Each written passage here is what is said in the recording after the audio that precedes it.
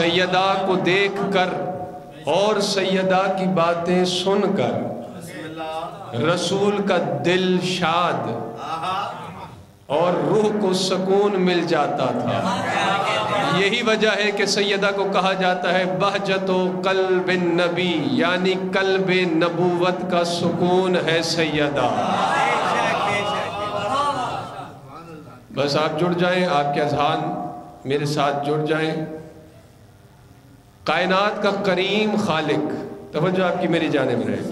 बाद में आने वाले आकर के बैठते रहेंगे। आपकी तवज्जो मेरे साथ रहे। कायनात का करीम खालिक।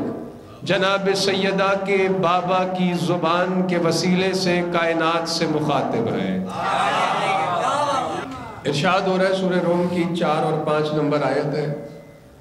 लिल्लाहिल अम्रु मिन कबलो व मिन बाद। अम्र पहले भी अल्लाह के लिए था।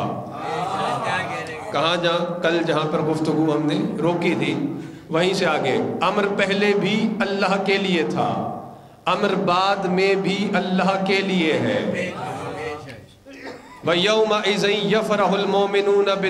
और अल्लाह कह रहा है, कयामत के दिन मोमिन साहिब ईमान। अल्लाह की मदद और नुसरत के साथ खुश हो जाएगा।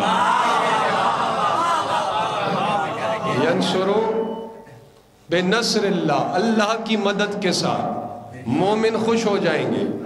यंसुर मैशाओ और अल्लाह जिसकी चाहता है मदद करता है।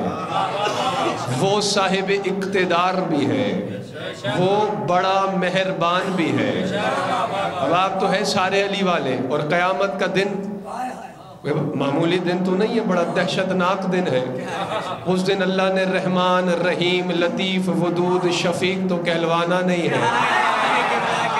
हाँ कुरान पढ़िए, लिल्लाहिल कहार के नकारे बज रहे होंगे।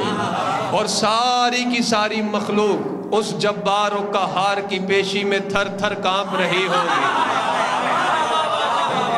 और ऐसे में वही जो उस दिन जब्बार और कहार कहलवाएगा, वही जब्बार कह रहा है कि मोमिन, साहिब ईमान खुश हो जाएँगे या फराहुल मोमिनून फरहत पाएँगे। फरहत, खुशी सुकून, आसाइश, शादमानी मुसरत ये सारे माना है इसके। मोमिन खुश हो जाएँगे, मोमिन फरहत पाएँगे, मोमिन आसानी में होंगे। किसके साथ? अल्लाह की नुसरत के साथ। अल्लाह की मदद के साथ। ये आयत बोल रही है। जो कुरान पे बोलता है, मुझे बड़ा अच्छा लगता है, क्योंकि कुरान से बड़ा मद्दा मैंने इस घराने का देखा ही नहीं अल्लाह की नुसरत के साथ, अल्लाह की मदद के साथ। और कुरान उनसे पूछना चाहिए जिनके घर में कुरान उतरा है। कुरान के बारिश के सामने एक साहिल यही आयत खोले बैठा है और वो कह रहा है, मौला, इतना दहशतनाक दिन है, कयामत का दिन है, मखलूक को पसीने छूटे हुए होंगे। हिसाब का मामला होगा, हर बंदा खौफजदा होगा, डरा हुआ होगा। ऐसे में अल्लाह खुशखबरी सुना रहा है कि मोमिन खुश होंगे, फरहत पाएँगे। ये कौन सी नुसरत है? ये कौन नसरुल्लाह है? जागो खुदा के लिए।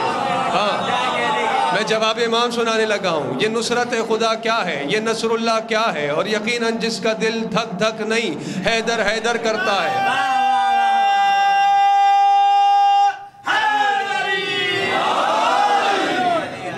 ऐसे तो जो कल आए थे सारे बाबाजे बुलंद कह रहे हैं, जो आज शामिल हो गए, उन्हें भी बता दें कि सांसों का खुम्स अदा कीजिए।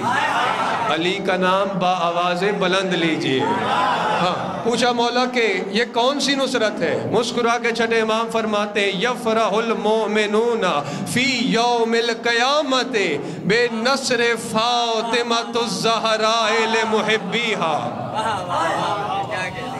फरमाया, कयामत के दिन मोमिन खुश हो जाएँगे।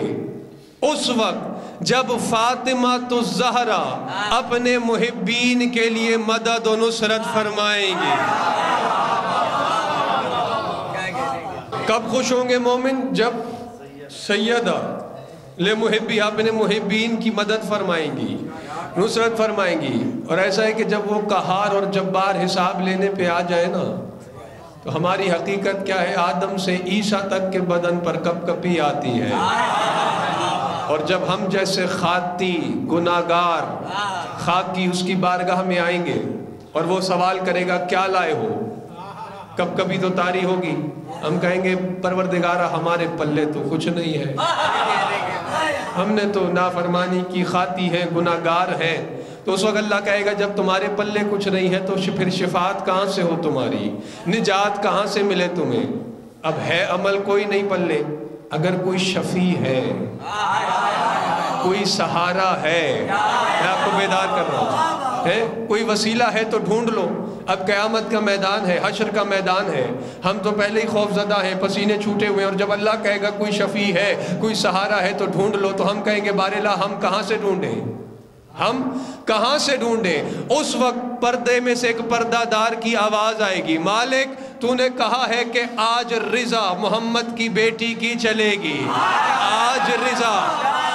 मादर हसनैन शरीफैन की चलेगी। अना कफीलत हम मालिक, मैं इन्हें अपनी कफालत में लेती हूँ।